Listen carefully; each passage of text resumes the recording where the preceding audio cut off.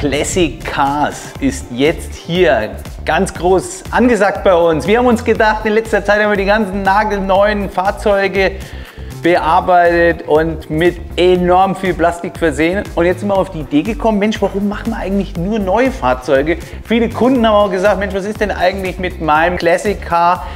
In dem Fall, was haben wir gemacht? Wir haben jetzt hier einen E36. E36, ich habe selber früher auch mal eingefahren. Das war mein zweites Auto. Zeiten sind lange her, den habe ich auch schon lange losbekommen. Aber hier haben wir wieder einen. Was haben wir denn für einen genau?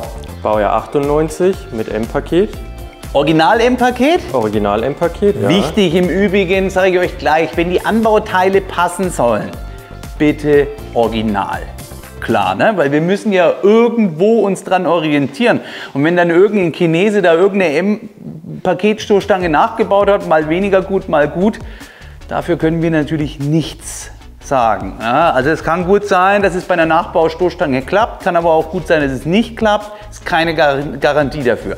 Aber hier mal ein schönes Original M-Paket. Könnt ihr im Übrigen auch in den breiten Zierleisten erkennen, an dem M-Logo erkennen. Ja, und ansonsten wären die nämlich hier schmal und hätten auch nicht hier die Lippe dran und solche Späße, auch diese geschwungenen Schweller und und und. Das sind ja so diese markanten Punkte, wo der E36 als M-Paket zu erkennen ist oder eben auch der Original M3. Dort wird es ja dann letztendlich auch passen, oder? Genau, das ist gleich. Richtig. Wir haben vor bei dem Auto Cup-Spoiler-Lippe, eine, die unter die Original-M-Lippe drunter gemacht wird, damit wir die Lippe ein bisschen vergrößern können, die Fläche hier vergrößern können, das Ganze ein bisschen aggressiver wirken lassen können. Dann haben wir Seitenscheibenblenden, genau. Wir haben ja hier das Coupé, wunderschönes Coupé. Und da hinten die Seitenscheibe, die hat ja auch gar keine weitere Funktion, außer mal schön ausgestellt zu werden. Ich glaube, das haben die heutigen Autos gar nicht mehr. Ne? Dann haben wir einen Heckansatz. Genau. Heckansatz zum Stecken in dem Fall. Der wird auf den Original-Heckansatz hier hinten aufgesetzt, eingeschoben. Macht so ein bisschen so eine DTM-Optik, würde ich jetzt mal behaupten. Ja. Heckflügel, so eine Art Börzel. Ja. Heckscheibenblende. Genau. Was haben wir noch? Ganz wichtig und mega geil. Katzentreppe. Kennt ihr vielleicht? Das ist diese Verschattung auf der Heckscheibe fürs E36 Coupé. Schaut echt super cool aus und auch das Besondere daran aus ABS-Kunststoff somit alle Oberflächen und somit müsst ihr da nichts aufwendig lackieren. Ne? Weil bedenkt bitte, all diese GFK-Katzentreppen, die es da irgendwo zu kaufen gibt, da könnt ihr wahrscheinlich 1000 Euro erstmal Lackierung reinstecken, weil das ist richtig teuer. Sonst war es das erstmal. Kann sein, dass wir vielleicht in der Videoreihe oder während der Videoreihe uns noch was einfallen lassen oder noch mal was nachschieben. Genau, jetzt geht es erstmal an die Kapspoilerlippe. Genau. Die Autos haben ja schon ein paar Kilometer runter. Na, da sind die Stoßstangen schon ein bisschen krumm, die Kunststoffe, die ja, haben schon gearbeitet. Da ist eine Vernietung einfach das Sinnvollere. Da geht es mit dem 3M-Klebeband vielleicht auch, aber eher schwierig. Was müsst ihr als Vorarbeit machen?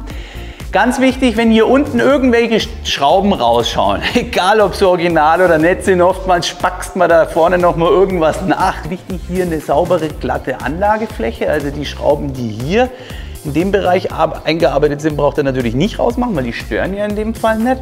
Aber die Spoilerlippe soll natürlich schon plan anlegen.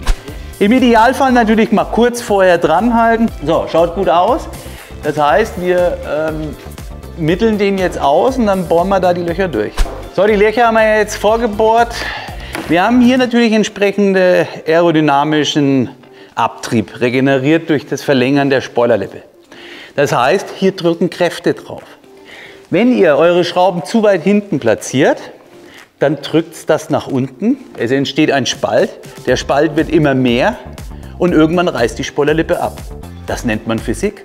Und das lässt sich leider nicht ändern. Gerade bei diesen ausladenden Teilen, so weit wie es geht, vorne die Löcher machen und so weit es geht, eben im vorderen Bereich die Nieten einsetzen. In den Bereichen, wo wir hier kaum Spoilerfläche haben, da kann man auch mal weiter hinten eine äh, Niete setzen. Das ist nicht ganz so tragisch, weil wir hier nicht diesen Anpressdruck haben. Lasst euch Zeit beim Ausmitteln der Spoilerlippe. Wir machen es ja jetzt hier gerade. Da passt es wunderbar, sitzt super an. Dann machen wir uns hier so ein Crepe dran und dann bohren wir die Löcher im Endeffekt schon durch. Viele werden sich denken, ah, die sind vielleicht zu lang, die Nieten. Nee, sind sie nicht, weil die Niete, ja, die zieht sich ja dann noch zusammen. Und da kommt auch nichts oben raus, wenn ihr das richtig gebohrt habt. Das ist natürlich wichtig beim Bohren, ne? vorsichtig, so wie es ja jetzt hier der Kollege macht. Das ist ja schließlich sein Auto. Ne? Das war natürlich äh, schwarz Hochglanzkunststoff. Aber da ist ja die Schutzfolie noch drauf. Die hätten wir mal vorher wegmachen sollen. Also bitte dran denken, Schutzfolie in dem Fall vorher mal wegmachen. Ansonsten wird es eine fummelige Arbeit. So, nach längerem Hin und Her gefummel, die Schutzfolie ist langsam draußen. Also bitte denkt dran, Schutzfolie vorher runter, ganz wichtig. Denn es ist nicht so einfach, die dann rauszuziehen. Ja, ich hoffe, euch hat das Video gefallen. Wir werden jetzt das eine oder andere Classic Car in Angriff nehmen. Hier in dem Fall die 36 und bleibt am Ball, denn ihr wisst ja, ich hatte bereits gesagt, es kommen noch andere Anbauteile. Ja, in dem Fall die Kapspoilerlippe, ihr seht, passt super zum Fahrzeug, schwarz Hochglanz, ihr könnt ja alle anderen Varianten nehmen.